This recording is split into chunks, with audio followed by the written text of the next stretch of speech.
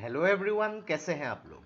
तो आज हम डिस्कस करेंगे रिसेंटली ग्रेट बैरियर रीफ के जो साइंटिस्ट है यहाँ पे तो उस जगह में जो है एक नई टेक्निक जो है एक नई मेथड जो है उसको सक्सेसफुली ट्रायल किया है regarding the freezing and storing of coral तो ये पूरा कॉन्टेक्स्ट क्या है इसको डिस्कस करेंगे?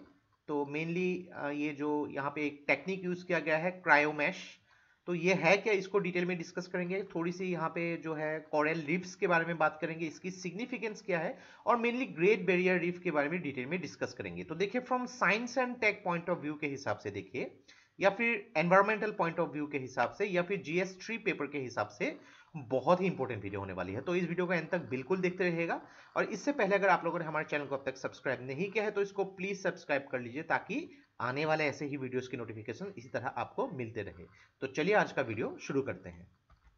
तो रिसेंटली ऑस्ट्रेलिया के जो ग्रेट बैरियर रीफ वहाँ पे जो साइंटिस्ट ने अपने पहले ही जो ट्रायल में यहाँ पे जो कॉरल जो है, उनको फ्रीज करके उसको स्टोर करने के लिए एक मेथड जो है, यहाँ पे उसको सक्सेसफुली डिस्कवर किया है यहाँ पे। तो एक चीज़ देखिए, अगर बात करेंगे जो अलग अलग मेथड जो है, जैसे कि लानिना जो प्रोसेस है, उसके वजह से ओशन की टेम्परेचर ग्रेजुअली बढ़ती जा रही है और इसके वजह से जो कोरल इकोसिस्टम है, ये जो है काफ़ी हद तक सफ़र कर रही है और कोरल इकोसिस्टम जो है, ये ब्लीचिंग होती हुई दिखाई दे रही है यहाँ पे। तो पिछले अगर देखा जाए सात सालों में चार बार ऐसे कोरल की ब्लीचिंग इसके बारे में भी हम डिस्कस करेंगे। ये एक्चुअली डिटेक्ट किया गया है तो ब्लीचिंग के बाद एक्चुअली कोरल जो रीफ है लगभग डेड हो जाती है।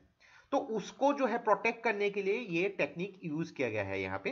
तो यहाँ पे देखिए एक बहुत ही ठंडे टेम्परेचर के थ्रू जो है इसको प्रोटेक्ट किया जा सकता है। तो इसको भी डिटेल में हम डिस्कस करेंगे। और ये जो प्रोसेस है, ये प्रोसेस जो है इसको बोला जा रहा है क्रायोमैश ताकि जो कोरल लार्वा है, उसको जो है फ्रीज किया जा सके, उसको स्टोर किया जा सके। और Australian Institute of Marine Science ने जो है, यहाँ पे साइंटिस्ट ने इसको जो है डिस्कवर किया है।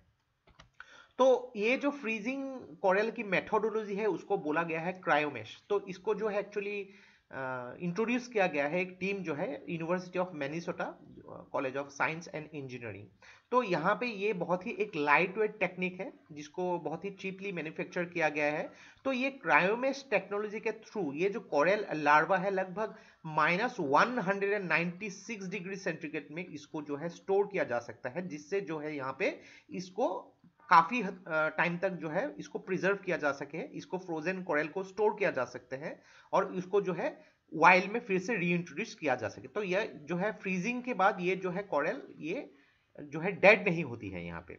तो देखिए यहाँ पे अगर बात करेंगे जो अभी जो फ़िलहाल क्रायोजेनिक्स की जो प्रोसेस है यहाँ पे बहुत ही सोफिस्टिकेटेड इक्विपमेंट लगती है और काफ़ी ज़्यादा जगहों पे यहाँ पे लेज़र की भी यूज़ होती है। थोड़ी सी एक्सपेंसिव प्रोसेस है लेकिन ये क्रायोमेश जो लाइट वेट टेक्निक है ये मैन्युफैक्चर किया जाता है बहुत ही चीपली और यहाँ पे कॉरल को प्रिजर्व करने के लिए एक बेटर ऑल्टरनेटिव है।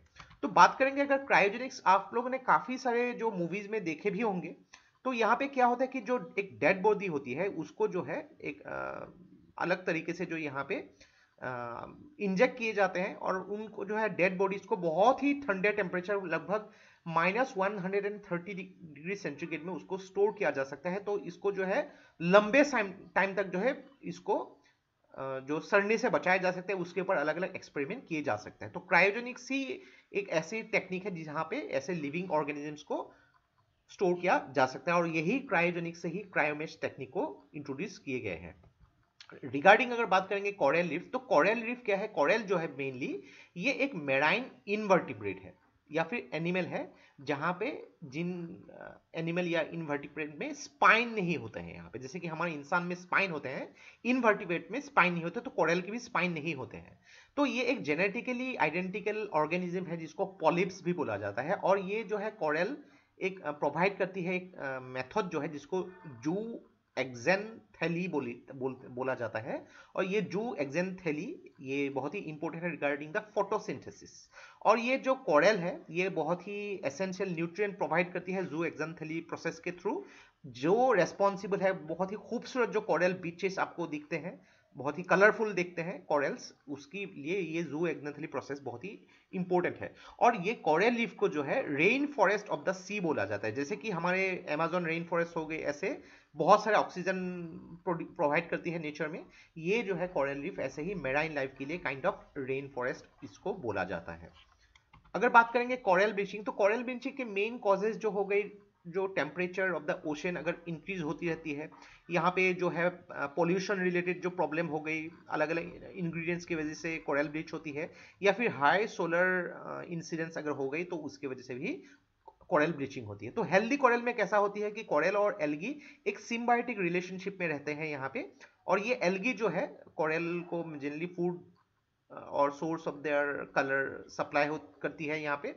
जब ये स्ट्रेस होती है, यानी कि एलगी एक्चुअली डिकम्पोज होना शुरू करती है बिकॉज़ ऑफ़ पोल्यूशन तो ऐसे प्रोसेस में जो है, ये एलगी जो है कॉर्नल टिश्यू को छोड़ देती है लगभग। और जब ब्लीच हो जाती है तो आप मान सकते हैं कि ये बहुत ही एक वीकर बॉन्डिंग होती है इसके बीच में, और ये जो है कॉरेल लगभग ग्रेजुअली डाई होती है without the supply of food source because food source इसको जो है एलगी ही प्रोवाइड करती है।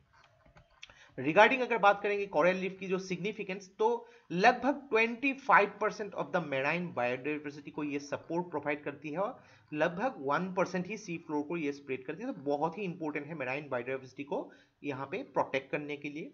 और अगर बात करेंगे ये मेराइन लाइफ को जो है कॉरल लीफ सपोर्ट करती है और ग्लोबल फिशिंग इंडस्ट्री को भी सपोर्ट करती है। बिकॉज़ देखिए, जितने भी मेराइन लाइफ है, जहाँ पे छोटी छोटी मछली है, यहाँ पे फ़ूड अपनी इंटेक लेती है उतनी ही ज़्यादा यहाँ पे जो है मेराइन, जो है मछलियाँ ज़्यादा होंगी और फिशिंग इंडस्ट्री वहाँ पे उतनी ही ज़्यादा फल फूलेगी।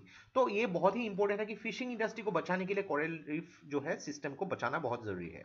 कोरल रीफ सिस्टम जो है लगभग 2.7 trillion US dollar annually throughout the global ये प्रोवाइड करती है, जो बहुत ही बड़ा सोर्स है। इंडिया की जीडीपी से थोड़ी ही कम है यहाँ पे।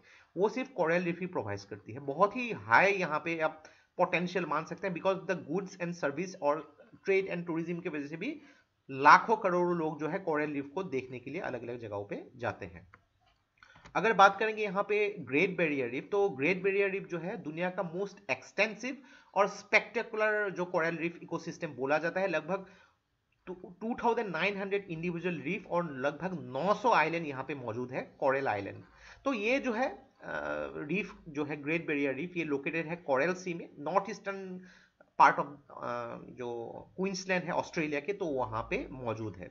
और ये इतनी बड़ी है कि उसको आउटर स्पेस से भी देखा जा सकता है world's biggest single structure living by made by living organism यानी कि कॉरल्स ने ही उनको जो है एक्चुअली बनाया है वर्ल्ड बिगेस्ट सिंगल स्ट्रक्चर और ये ग्रेट बेरियर रीफ को एक्चुअली वर्ल्ड हेरिटेज साइट का दर्जा मिला था 1981 में। तो आप मैप में देख सकते हैं यहाँ पे ऑस्ट्रेलिया के जो नॉर्थ ईस्टर्न पार्ट है ग्रेट बेरियर रीफ कितना बड़ा एक एरिया जो है यहाँ पे ग्रेट बेरियर रीफ से यहाँ पे ऑक्यूपाई करके रखा हुआ है। आप देख सकते हैं यहाँ पे बहुत ही छोटे छोटे बहुत आइलैंड्स है यहाँ पे।